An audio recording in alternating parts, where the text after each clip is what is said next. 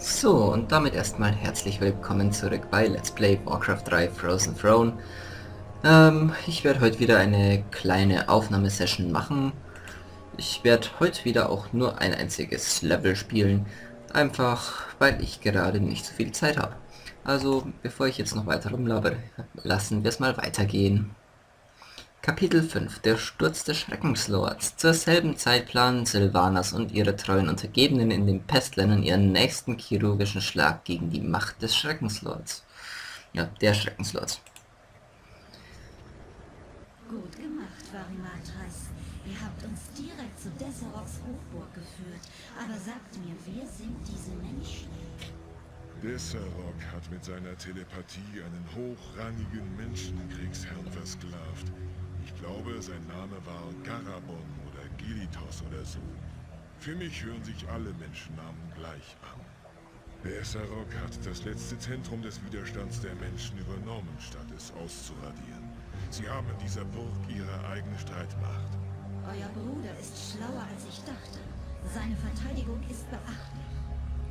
Ja, mit dieser kläglichen Truppe, die ihr da habt, wäre ein direkter Angriff auf diese Mauern Selbstmord. Ich habe nicht vor, diese Mauern anzugreifen. Dann sollten wir gehen, bevor er... Meine Banshees werden diese glücklosen Menschen übernehmen. Wir benutzen sie, um für uns das Tor zu öffnen. Euch ist klar, dass wir nur wenig Zeit haben, bis er herausfindet, was wir im Schilde führen. Natürlich. Wenn wir schnell genug zuschlagen, wird Desserok gar nicht wissen, wie ihm geschieht.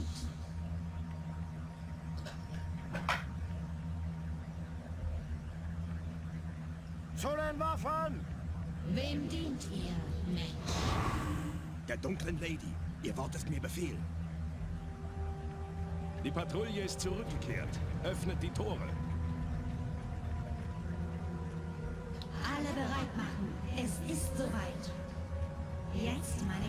Schlagt zu.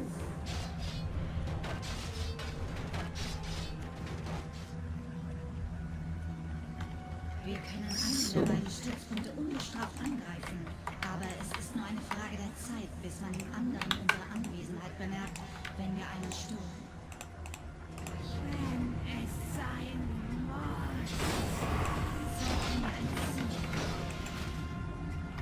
muss. So, ähm, ich habe hier in diesem Level mehr oder weniger eine eigene Taktik, die es beinhaltet, ja, hier dieses Lager hier zuerst anzugreifen, um anschließend dieses Lager hier zu übernehmen. Ich habe nicht vor, dieses Lager hier oben zu halten. Das verschafft mir nämlich mehr Zeit, diesen Stützpunkt komplett zu vernichten und nebenbei auch noch äh, hier ein Lager aufzubauen, um den Angriff der Menschen abzufangen. Da die Menschen vorerst mal alle da hochrennen werden, in meine, Die dunkle Lady ist hier. Wir müssen ihre Streitmacht zurückschlagen. da wo mein Stützpunkt gerade ist. Ich werde auch jetzt gleich mal einen Akolyten hierher schicken. So. Mit Sylvanas schieße ich mir mal ein paar Skelette.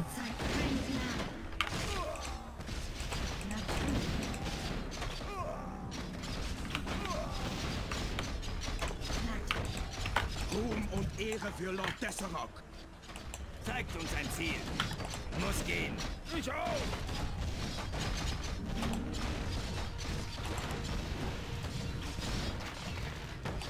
Gut, dass der Rüst die Rüstung ungepanzert hat. Kriegt er von Belagerungsschaden voll auf die Fresse.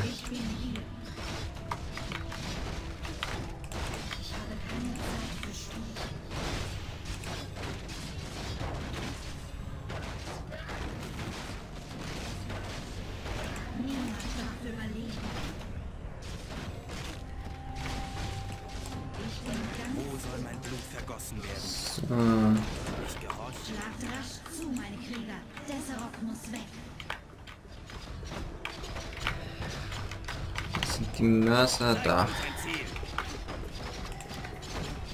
Wir haben hier oben übrigens eine Zeitbegrenzung, bis die feindlichen Streitkräfte aufwachen und uns bemerken.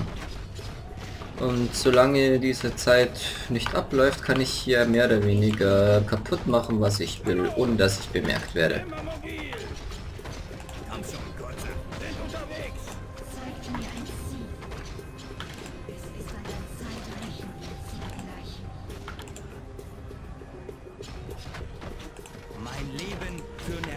Eigentlich solltest du hier schon eine Goldmine beschwören. Und das hier bauen wir auch gleich hier hin und dann ja, bauen wir gleich mal eine kleine Verteidigung auf. Okay, wenn ich da noch irgendwo was hinkriege.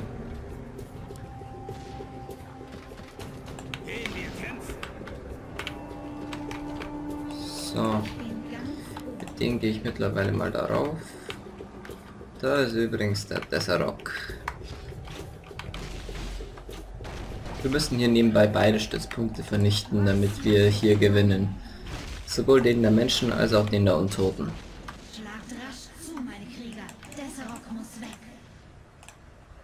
Euer Wille geschehe.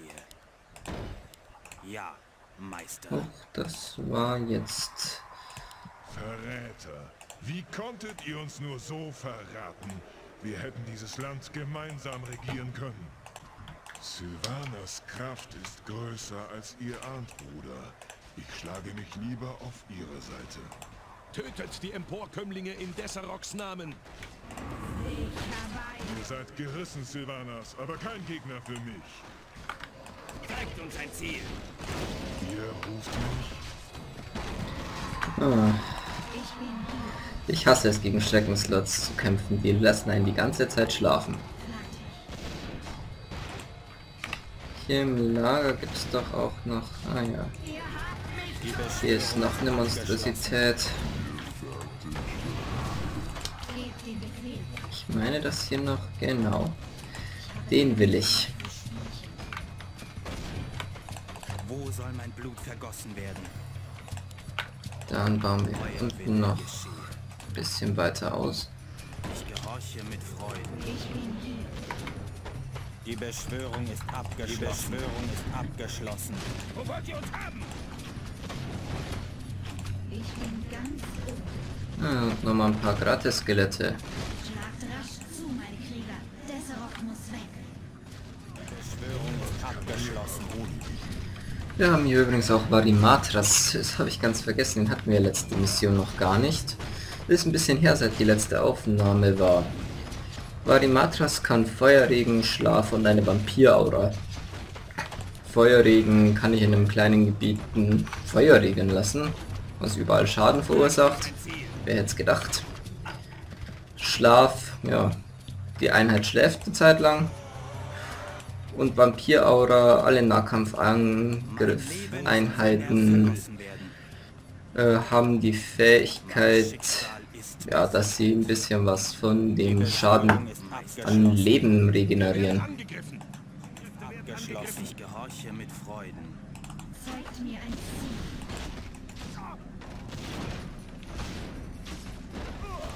Möge ich sicher ziehen. Niemand darf überleben.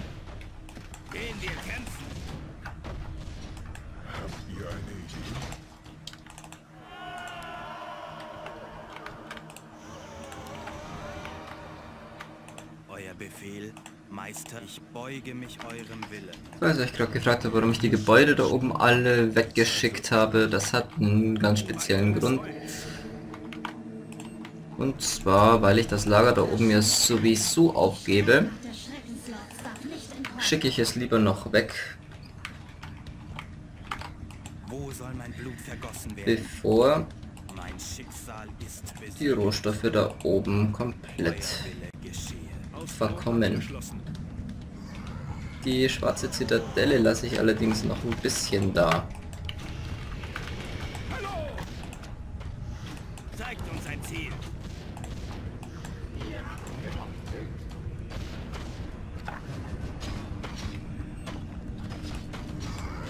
So, damit haben wir Desseroks Stützpunkt zerstört und Garitos Stützpunkt ist der andere. Ah, da sind wir ja wieder, haben wir ein tolles Wiedersehen mit Großmarschall Arschloch. Dürfen wir ihn endlich mal verhauen. Zeit ist fast abgelaufen. Vergeudet meine Zeit nicht. So, ah ja, das fehlte noch, stimmt. gehorche mit Freuden. Wo soll mein Blut vergossen werden? Mein Leben für Nersul. Mein Schiff, ich beuge mich eurem Willen. Unsere Zeit ist abgelaufen. In beiden Stützpunkten weiß man, dass wir hier sind. Wir müssen unsere Verteidigung ausbauen, ehe ihr Gegenangriff beginnt. Wo soll mein Blut vergossen werden? So, diesen Tipp werde ich jetzt mal Desserok wird bald sein Heer galant ignorieren, da ich hier sowieso jetzt mein neues Lager hier aufgeschlagen habe.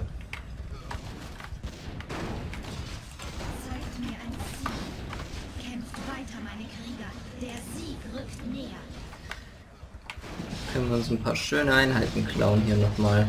Die Beschwörung ist abgeschlossen.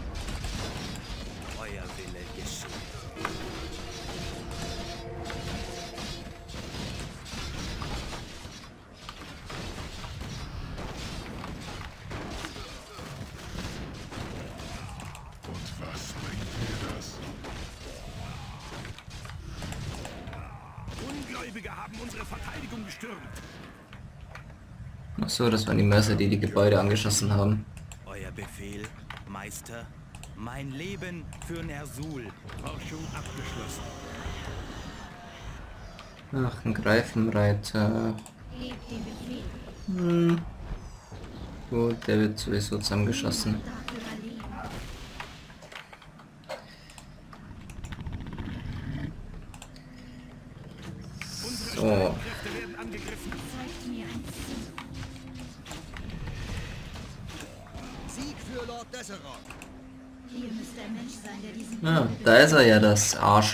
bin Garitos.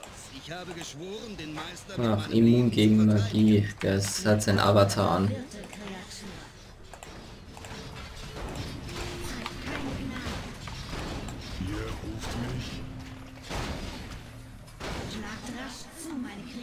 Desserok. Okay, der hat ein Level Up. Varimatras hat übrigens zwei Fähigkeiten von Grubenlord gekriegt. Normale äh, Schreckenslords haben an der ersten Stelle den Aasschwarm und an der letzten Stelle eine Höllenbestie. Hier haben wir den Feuerregen statt den Aasschwarm und Verhängnis anstatt der Höllenbestie. Na gut, ich will mich nicht beschweren, Verhängnis ist auch ein starker Ultimate, aber ich finde die Schreckens... Äh, die Höllenbestie ist ein bisschen besser. Ich wünsche nur zu dienen.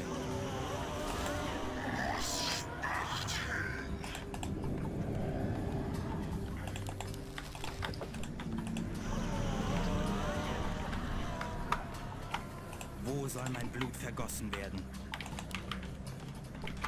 Ja, Meister. Mein Leben für Nersul. Ja, die Opfergrube brauche ich noch, damit ich Frostwürm bauen kann.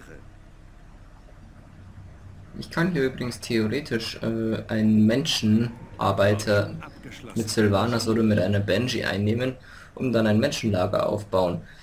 Das wird mir dann allerdings ein bisschen zu viel. Ich sollte vielleicht noch ein paar... Ja, Meister. Ja.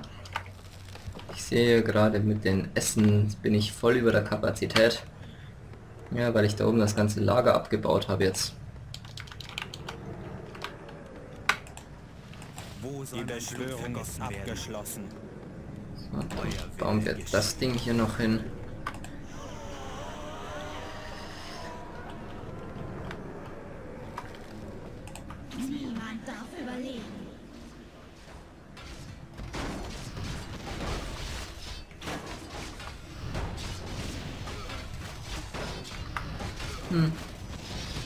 Findest du, wenn die nur mit Soldaten und einem einzigen Scharfschützen dahin mal wieder kommen?